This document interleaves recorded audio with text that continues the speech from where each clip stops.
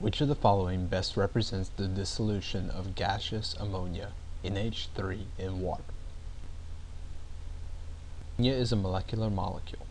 Molecular compounds that are either unionized or only partially ionized in aqueous solution are best represented by putting a parentheses AQ label next to the formula of the compound.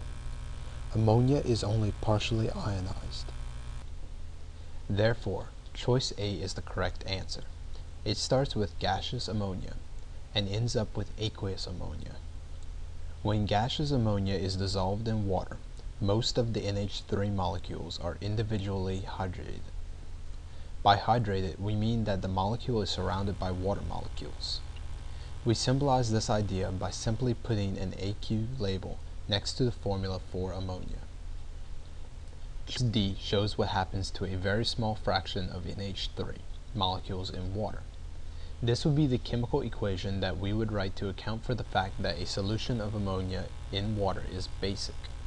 We say that ammonia is a base because putting it in water leads to the production of hydroxide ions. An ammonia molecule can take a hydrogen away from a water molecule to form an ammonium ion.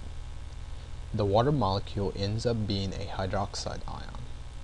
Because only a small fraction of ammonia molecules end up doing this, we say that ammonia is a weak base. Choice C is also wrong. There is no such thing as ammonium hydroxide molecules. However, you should be aware that commercially available aqueous solutions of ammonia are called ammonium hydroxide.